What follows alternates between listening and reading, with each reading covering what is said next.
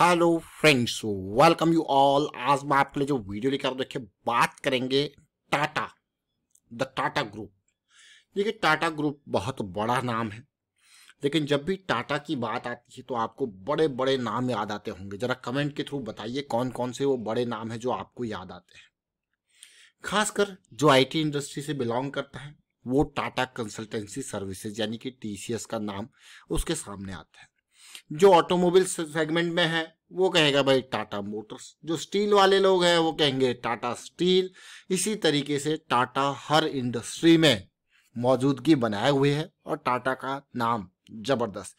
लेकिन जब बात आती है रिटेल सेगमेंट में तो टाटा का कौन सा प्लेयर है? जरा कमेंट के थ्रू बताइए। और आगे बढ़ने से पहले मैं आपको बता दूँ कि अगर आपने अब तक चैनल को सब्सक्राइब नहीं किया तो जल्दी से सब्सक्राइब कर ले, बेल आइकन को प्रेस कर ले जिससे आपको नोटिफिकेशन आती रहेगी और प्राइस सेक्शन सीखने के लिए आप ज्वाइन कर सकते हो मेंबरशिप ज्वाइन बटन पर क्लिक करके। प्राइस सेक्शन की सीरीज़ बहुत इंपॉर्टेंट है, बहुत सारी चीज़ें बहुत ही बारीकी से आपको यहाँ पे बता रखी है। इसको देखिए, समझिए और प्रैक्टिस कीजिए। जी हाँ आज हम बात करने वाले हैं जो स्टॉक की, उसका नाम है ट्रेंट लिमिटेड और ये स्टॉक देखिए हमेशा ये ध्यान रखना है कि स्टॉक अगर भाग गया तो वो हमें बहुत कुछ सिखाता है। ट्रेंट टाटा का वो रिटेल सेगमेंट का प्लेयर है, जो कि apparel footwear accessories toy games food grocery इन सब के उसमें काम करता है। 400 स्टोर नियरली इसके हैं। साठ हज़ार करोड़ का हो चुका है मार्केट कैपिटलाइजेशन अब इस स्टॉक को देखोगे, इसके रिवेन्यू के ग्रोथ को देखोगे, आप हो जाओगे फ़ैन आप कहोगे, क्या स्टॉक है? ज़बरदस्त। लेकिन इस स्टॉक को जरा देखिए, अब इसके प्राइस सेक्शन को समझेंगे और बहुत कुछ सीखेंगे। अब इस स्टॉक का पिछले कुछ महीने का प्राइस एक्शन देखिए। मतलब ये भागे जा रहा है 2020 में देखिए किस लेवल पे था, चार ऑलमोस्ट 400-500 के रीजन में और उसके बाद देखिए रैली पे रैली आई गई और आज ये स्टॉक 1700 के आसपास गया। लेकिन अभी रिसेंट रैली में अगर मैं देखूँ, जो हमारे पास रैली चली है अप्रैल, मई, जून, ये रैली चली है, जरा स्टॉक को देखिए। और ध्यान से समझने की कोशिश करनी, ये इसका मंथली चार्ट है। मैं आपके सामने इसका वीकली चार्ट रखूँगा, ताकि जब हम बार बार आपको कहते हैं ना, जब कंसोलिडेशन आएगी तो आपको मौके मिलेंगे। ऐसा नहीं कि स्टॉक भाग जाएगा। स्टॉक इतनी जल्दी नहीं भागेगा, वो आपको अपॉर्चुनिटी देगा एक दिन तक नहीं, बल्कि कई दिन तक। लेकिन इस स्टॉक ने जो कंसोलिडेशन दिखाया है, बस यही कारण है, ये स्टॉक आपके सामने आया है। कंसोलिडेशन हमारे लिए बहुत बेहतरीन चीज़ है। अब कंसोलिडेशन कहाँ पे अगर वीकली चार्ट को आप देखोगे और समझने की कोशिश करोगे तो ये कंसोलिडेशन कहाँ पे है?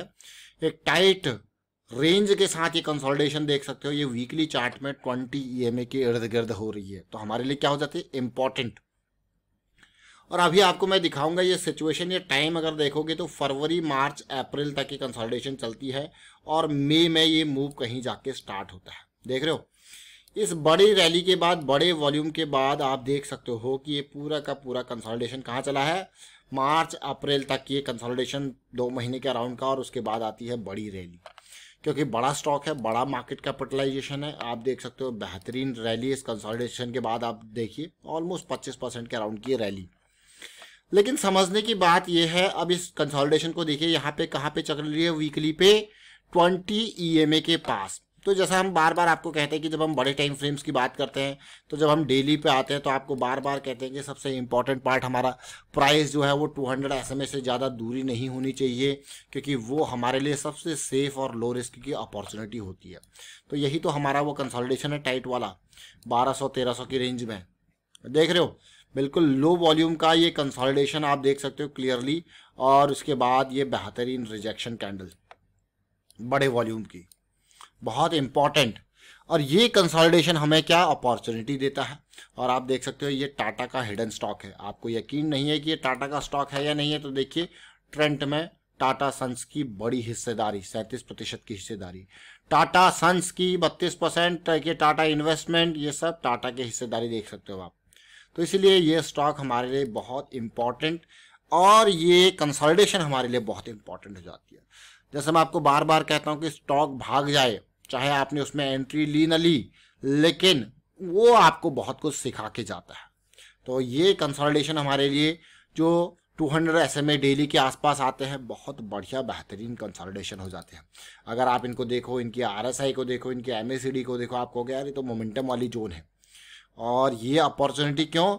क्या कि यहाँ पे हमारे पास लो रिस्क अगर डीप रिस्क की भी बात करें तो ये आपके पास 1150 का एंट्री 1350 के आसपास। और इमीडिएट यहाँ पे इम्प्रोवाइज रिस्क की बात करें, अगर आप इस कंसोलिडेशन जोन में एंट्री ले रहे हो तो आपके पास जो इम्प्रोवाइज रिस्क एरिया है, वो ये बैठेगा, देखिए। स्टॉप लॉस और इम्प्रोवाइज डी है, और लेट जाते हो तो फिर उसके बाद ये लेवल तो आपके पास क्या बनती है? लो रिस्क की अपॉर्चुनिटी तो मान के चलते हैं कि आपने स्टॉक में एंट्री लिया, कहीं फोर्टीन हंड्रेड की रेंज थोड़ा सा इजी कैलकुलेशन हो जाएगी हमारे लिए। और आपका स्टॉप लॉस था थर्टीन हंड्रेड के पास। ठीक है? और आपने कहा भाई मेरा जो टारगेट है वो at least one is to three one is to two तो होगा ही होगा। तो दो सौ, तीन सौ पॉइंट का ऊपर का तो आपका सीधे चौदह सौ से सोलह सौ। सोलह सौ या फिर सत्रह सौ, देख रहे हो? ईजिली अचीव तो ये छोटी छोटी चीज़ें ज़रूर है, लेकिन बहुत इंपॉर्टेंट चीज़ें हैं।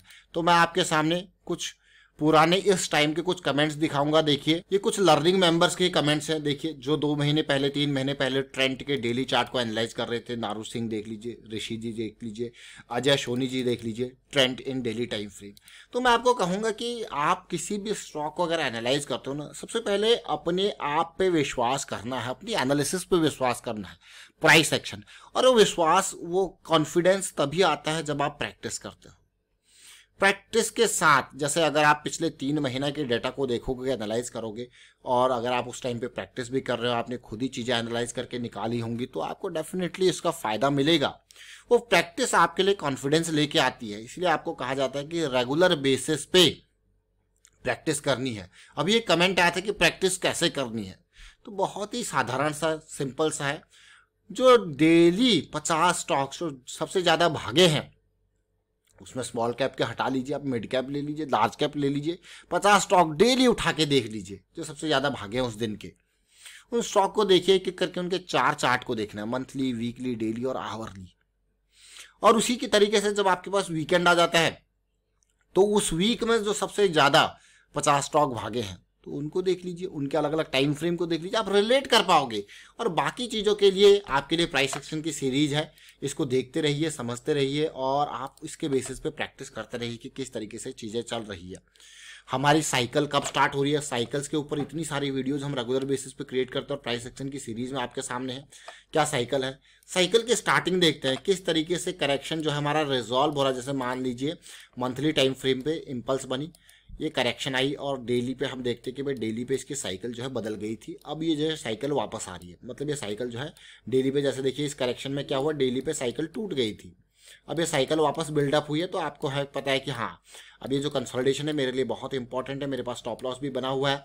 अब मैं अगर इस पर एंट्री करता हूँ तो एक बढ़िया रैली बीस तीस परसेंट की देगा ही देगा।